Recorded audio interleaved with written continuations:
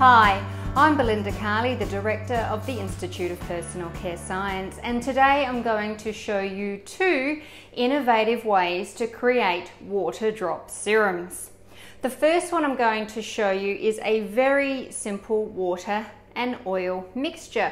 There are no emulsifiers, but when you shake it and apply straight away, you get an emulsified effect because of the mechanical shaking and the application. You can see there the substance is temporarily combined. It will separate out into its separate layers later. Now you may say at this point, why would I do that? Why wouldn't I just make a lotion or a cream? Well, the consumer nowadays more and more wants to know exactly what's in their product and they're looking to reduce some of the chemicals or ingredients that are in their products they choose. In this particular example, it's marketed as being a herbal drop serum. So in the water phase, it contains a lot of herbal extracts, and in the oil phase, it contains some oils that are particularly beneficial to the skin. The second product I'm going to show you is this really cool water drop serum. And if you can see really close, there are actually oil droplets suspended in a water continuous medium. Now this is made possible using these very innovative wet capsules from Biogenix. And what they are is oil contained within a very special little capsule so that they can be suspended in a continuous gel phase. So I'm going to show you how to create both of these So first, I've already measured out my water phase here except for my extracts. This is an example of some simple glycerin based extracts.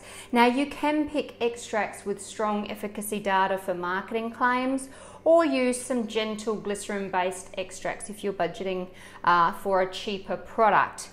I am going to be adding some natural chelating agent to my water mixture and another very important note about my water mixture is I am making a very green formulation for you here.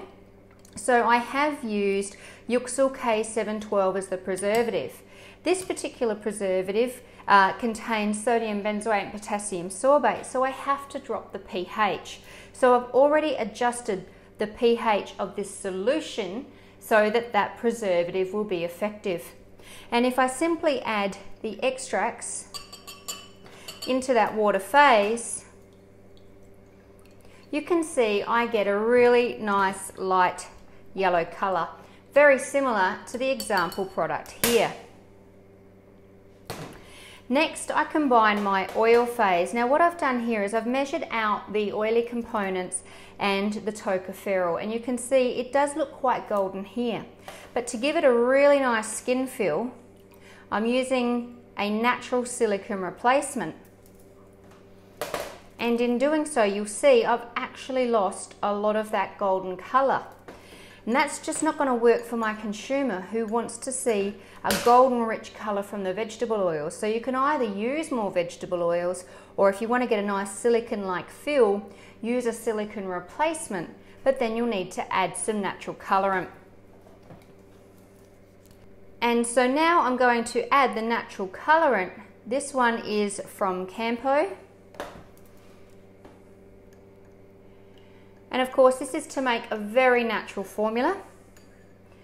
You don't have to use all natural ingredients if natural doesn't matter, but I want to show you a way of creating a very natural formula in case that's what you're looking to do.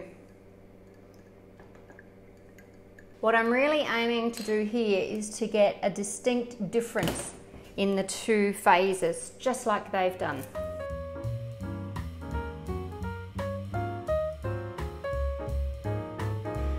Make sure you record how much colour you use to get the colour you require so that you can replicate it in future batches. But of course I've QS'd in my formula because it really depends on the colour you want to obtain as to how much you use. Then we just combine the two phases. They will naturally want to separate out.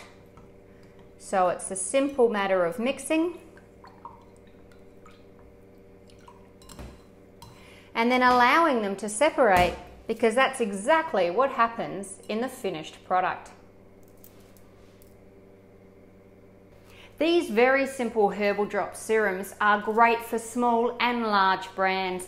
At a smaller level, you can use some of the readily available glycerin herbal type extracts and build your product story around that. You can also introduce other innovation into the oil phase, like some oil soluble vitamins, if that's what you choose to do. Larger companies can, of course, include some of those high end cosmeceutical ingredients and build their story around their efficacy. The end result is really to create a two phase product that can be marketed as emulsifier free or high on herbal extract content because that is exactly what your consumer is wanting to see and can see in the finished product. Now first we start with our water phase. So I've already got that started here and to this I'm just going to add my carbomer.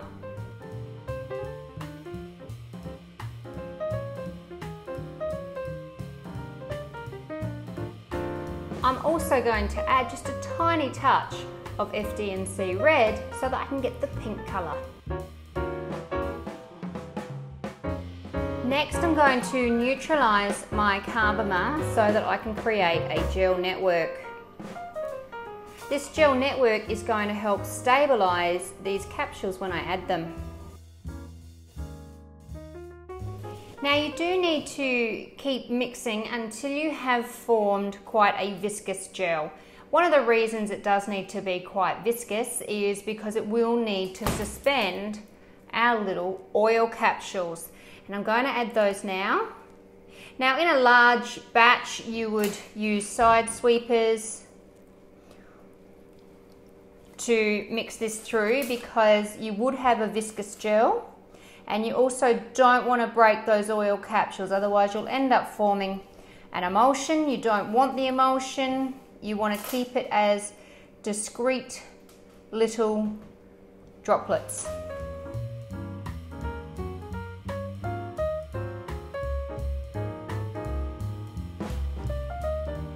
And there you have them. Now one of the great things about being dispersed this way is with the right packaging, it pumps out already combined, the oil droplets break easily and you're massaging in a very light skin feel emulsion.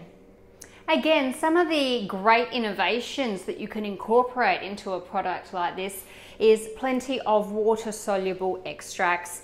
Uh, the actual wet capsules come already preformed and with fragrance present, so you don't even need to worry about the oil phase at all.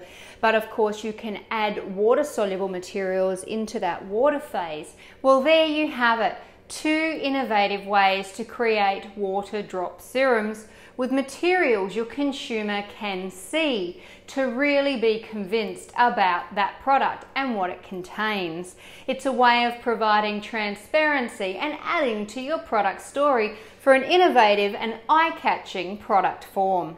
Happy formulating!